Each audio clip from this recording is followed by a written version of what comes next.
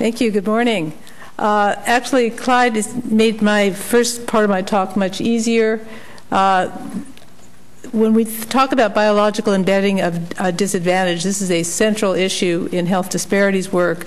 There are countless studies showing that adults who have less education, lower incomes, or lower on the occupational hierarchy have higher mortality and morbidity. I like his concept of the fire hazard. It may be a new uh, way of measuring the, uh, the field. You can see thousands of gradients uh, like this. This, this is uh, showing the rates of diabetes on the left, of uh, coronary heart disease. I could just show you slide after slide specific indicators of SES, specific diseases. And this is all taken uh, as an indicator that poorer health is a result of lower SES. But of course, there is also the possibility of the other direction, which is that poorer health may contribute to lower SES. This is most likely for income, and actually, um, uh, economists are usually the ones who have uh, focused on this this particular causal direction. And some of the data uh, that has been most convincing comes from older populations, from the Health and Retirement Survey, that shows, for example, when people become ill, uh, they're more likely to retire early, and you know, therefore their income drops. But reverse causality is less likely for education, which is established early in life and clearly precedes the health problem. So, this is uh, one study uh, done on uh, telomere length related to uh, educational advancement uh, within the uh, British system. And this slide shows that even at the cellular, cellular level, greater educational attainment is related to a health indicator, longer telomere length. And this holds even for adjustment for age, gender, occupation, income, and several biological risk factors. It would be hard to argue that your telomere length 20 years later somehow affected how much education you were going to get. Uh, but there is an alternative explanation of how this could happen. It's fairly clear that educational attainment affects uh, adult health, but it may well be Oh, and it operates in part through your adult socioeconomic status. That your health in childhood could, in fact, affect your educational attainment, which then in, in turn has these ripple effects later on. However, this is not the end of the explanation because there's still a question of what affects childhood health. It's not that socioeconomic status is unrelated to childhood health. It's not the child's socioeconomic status yet, in terms of their own income or education, uh, but parental socioeconomic status, which affects uh, the health of their children, as well as also having an effect on, apart from the childhood health uh, pathway, their child's uh, their uh, adulthood, uh, their education, and their SES in adulthood. So if we move back even further, we can see that SES plays a role in the various early, uh, the earliest environment that children experience, which is the womb. Maternal SES is related to the fetal environment, and I'm going to talk in a minute about the mechanisms by which this could uh, occur which in turn affects uh, many of the health outcomes that we're interested in. The data on uh, fetal origins of disease suggests that adaptations to the fetal environment permanently change structure, physiology, and metabolism in ways that affect disease risk. Children of lower SES parents are more likely to be premature, to be underweight, even when adjusting for length of gestation, to have a higher risk of early mortality, and to have more frequent cognitive and developmental delays. All these things set kids then on trajectories to on things like the EDI, which will uh, affect their low their their further education and their health in adulthood. Now, the prenatal programming as a result of parental SES may occur via several mechanisms. As I noted, but and I'll quickly go through these. Uh, the first is maternal overweight, underweight, and poor nutrition. These are all more common in more socially disadvantaged women, and these have been shown to affect fetal development. A second mechanism is through exposure to toxins that can cross the placental barrier and affect, affect brain development and later cognitive functioning.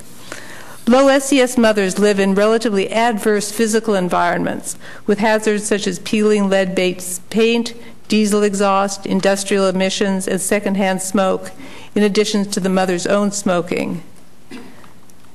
And finally, both animal and human studies have linked greater stress experienced by the mother with slower growth, impaired immune function, and damage to brain structure and functioning.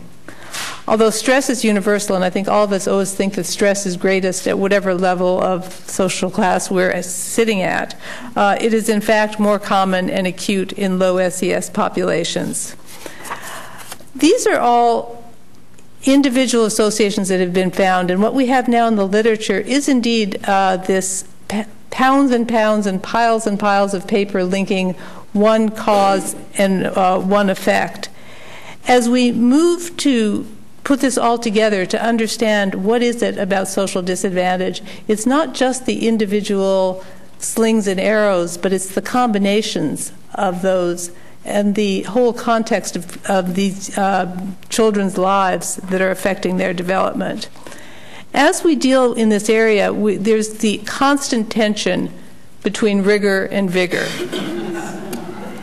In trying to establish causations, most studies take a reductionistic approach where we look very much at one variable at a time, one cause and one effect most of the studies, uh, there have been some uh, randomized trials where they look at multiple effects, but mostly we, we do these correlations linking one aspect of SES with one kind of outcome.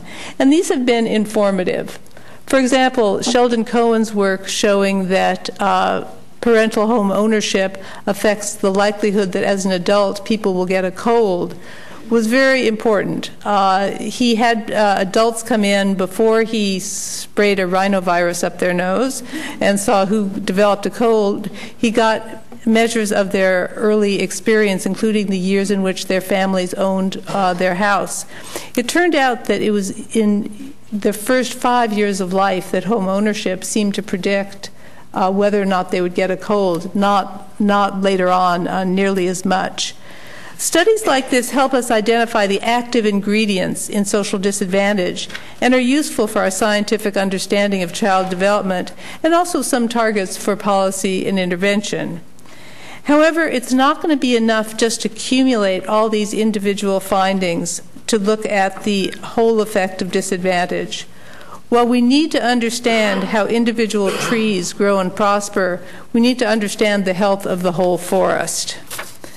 Neither risk nor protective factors exist in a vacuum. Uh, this cartoon focuses on social advantages and shows that it's no one thing, and these things are, in fact, uh, correlated with one another. The same is true with uh, disadvantages.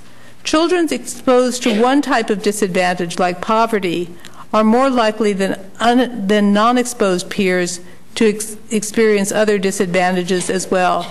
Greg Duncan, uh, who's in the audience, uh, whoops, well, I think I went a little too fast. Uh, uh, pointed out, poverty is associated with other types of disadvantage, such as poor schooling or having a single parent, which makes it hard to say whether the association of poor health with poverty is due to the effect of poverty per se or other linked experience. Using only a single causal variable can lead both to overestimation and to underestimation. Unless all the entwined factors are controlled for, the association with a single, of a single factor with health outcomes may overestimate its true impact because it's carrying the weight for the associated variables. At the same time, the effect of any one factor on health may well underestimate the whole impact of social disadvantage. If, if we reduce the disparities to one factor, we may be underestimating how powerful, in fact, social disadvantage is. The same is true on the dependent variable side. To make precise links between social disadvantage and health, we need to, measure, to link the measure of social disadvantage with biological mechanisms that foster disease. So we tend to focus on given diseases so we can understand the pathway one exposure, one disease. At the same time, we know there are cumulative biological responses to these various slings and arrows that increase vulnerability to a variety of diseases. This is the thinking behind allostatic load, which uh, Bruce will be talking about uh, this evening. Since a relatively small number of people develop a given disease, which may be a factor partly of this vulnerability due to the exposures in, in, social disadvantage, but also to your genetic proclivity to that disease, some other ex, uh, random environmental exposures, it may be harder to link a, an exposure with a given disease. So we need to account for the vulnerability to a, a, wide range of diseases that, again, will tell us the true power of social disadvantage. So just as we need to account for the complexity, and some would say the messiness, of cumulative disadvantage, we also need to link these to indicators of cumulative overall health. So, how do we capture both rigor and vigor? To do so, we need to have both reductionist studies of specific causes and outcomes with vigorous approaches to the entwined risks and multiple outcomes. Now, a few researchers have been trying to do this, uh, largely looking at the development of behavioral and psychiatric problems and considering cumulative risks and adversities. The underlying theory is that exposure to multiple risks, whatever effects they have individually, affects outcomes. In other words, the number of adversities in a child's environment affects the outcome independent of the occurrence of any one risk the seminal study was done by uh, Sir Michael Rutter, who's with us uh, today. And uh, in the Isle of Wight study, he assessed six risks. What they found was no one risk significantly raised the rates of childhood mental disorders, but the rates increased geometrically with those with a greater number of risks. With two risk factors, children had a fourfold increase, and with four risk factors, a tenfold increase in disorders. In a subsequent study, the Rochester longitudinal study, looking at 10 risks, the greater the number of risks, the greater the, the probability of problems. Uh, children with eight or more risks had rates of poor academic performance that were seven times as great as those with zero to three risks. This is a very helpful approach, but there are some issues with simply accumulating risk in this way. One is the assumption that each risk is equally important. If you just take a, a summary measure, uh, you're weighing them equally. Uh, if you use the sum, you don't know if some risks are in fact uh, more potent. And when only the risk score is used, it doesn't tell us if the number of risks per se matters or if it's the effect of just the accumulation of the risks. So the question is is there an independent effect of number of risks beyond the impact of the fact that more bad things happen make you more vulnerable to bad outcomes? So recent studies are combining both individual risks and the cumulative total. Uh, this was done uh, recently with the National Comorbidity Survey of the link between childhood adversity in 12 areas and adult psychiatric disorder. Each risk factor was entered individually along with a measure then of the cumulative adversity and what was found is both the set of individual risk factors and the cumulative score independently predicted the occurrence of adult psychiatric disorder. However, unlike the earlier studies where there was a geometric increase as there were more risks, here the, adult, the odds of an adult disorder increased, but increased at a decreasing rate as more risks, risks occurred. It's also worth noting in this one that specific childhood adversities were more strongly related to some disorders than to others, and these associations differed by age. For example, childhood economic adversity related to adult anxiety disorders, but less so to mood disorders. So, in addition to these studies linking cumulative adversity to cognitive and emotional environment, we're also starting to see this in looking at physical outcomes. Um, there's the National Survey of Children's Health, which is not to be confused with the National Children's Study. Uh, this was a phone survey of, of uh, over 100,000 parents of children uh, age 18 and under. Uh, Larson and colleagues published uh, a study recently looking at the association of four health outcomes in relation to the number of risks reported by the parent uh, regarding their child. As you can see, you have this uh, much stronger association with overall poor health and with uh, poor oral health than with social and emotional problems and over, overweight. Again, I think this is an example of what I was saying earlier. Specific problems will not show as strong a relationship as the more global indicators that may capture uh, a range of disorders and problems. However, this doesn't address the independent contribution of the number of risks. Uh, so uh, for this symposium, we, we did a, a little bit of analysis and we ran two models. The model on the left, and you can see there's a gap to show that they're independent. Uh, we first uh, put in each individual risk, and then we put in the, um, the cumulative risks. And if you see, the cumulative risks are particularly powerful and geometric. When you put them all in at the same time, so that uh, you're accounting for the existence of the uh, individual risks, the effect of the cumulative risks go down, and it's only significant for those who have four or more risks. We actually we repeated these. These are for kids 18 and under, so we repeated them for the zero to five, since that's really the uh, interest in this uh, symposium. And there are a couple of things that I want to point out when we look at the zero to five. One is that overall, if you look at this is a national sample of kids, uh, 45% had no risks, and just under 30 had only one risk. So three quarters of the children were at, at low risk. But a small group of children had multiple risk. And this is very much patterned by, uh, by income of the family. So one of the risks is low income, but if we take that out and we divide it into those who are in poverty, low income, middle income, or high income, what you can see is there's a strong patterning of the other risks that go along with being in low income. So if you look simply at um, those with no risks, the high income uh, group, over 60% have no risks at all and 90% have one risk or less. But at those at the bottom, and this is an underestimate because poverty is one of the risks in addition, uh, those children in the poor and low income families were much less likely to have no other risks. And uh, in fact, only about 10% of children in poverty have only the risk of uh, low income.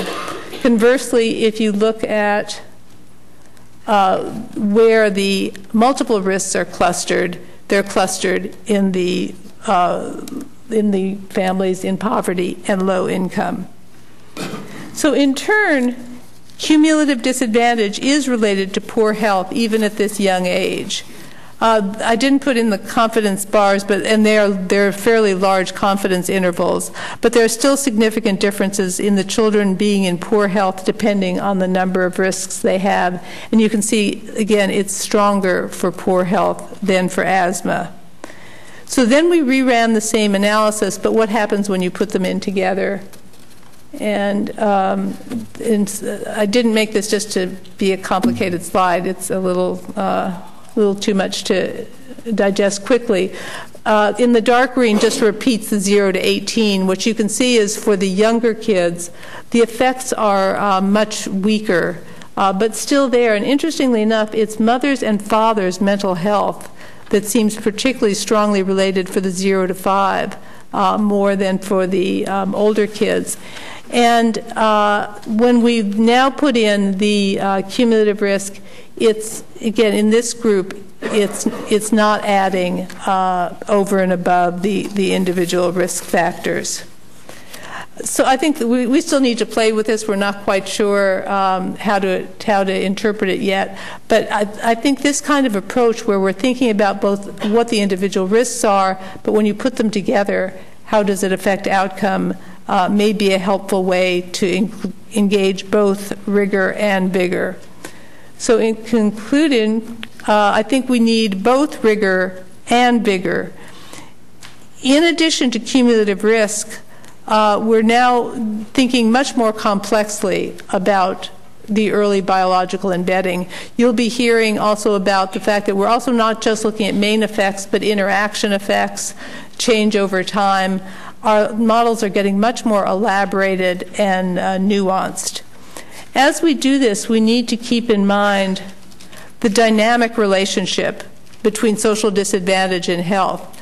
As I was starting out earlier, it's not just that socioeconomic status affects health or that health affects socioeconomic status. For those of you who remember, there used to be an ad for Certs saying it's a breath mint or it's a uh, candy mint, and the answer was it's both. And in this case, it's socioeconomic status affects health, health affects socioeconomic status, and it reverberates over the life course. And we do want to be clear when we're looking at individual studies which part of this are we looking at in which causal direction. This also is, implies that improvements in socioeconomic status will improve health over the life course, but also that improvements in health may enhance socioeconomic position. So, in sum, we need both rigor and vigor. Appreciating how powerful social disadvantage is in shaping health across the life course requires data on cumulative adversity and summative measures of health, along with our more reductionist studies. Rigorous research may be more effective in confirming mechanisms, but vigorous research is more effective in capturing the realities of people's lives. And also, I'd argue, is probably more valuable in motivating action uh, because it really captures the, the, the real uh, tenor of, of what it means to be socially disadvantaged and how powerful that is. In the presentations we're going to be hearing in the next uh, two days, I think we'll be hearing both about rigor and vigor. And the challenge of the network and other groups that are working as to how to put these all together for the whole picture of social disadvantage. I'll stop with that.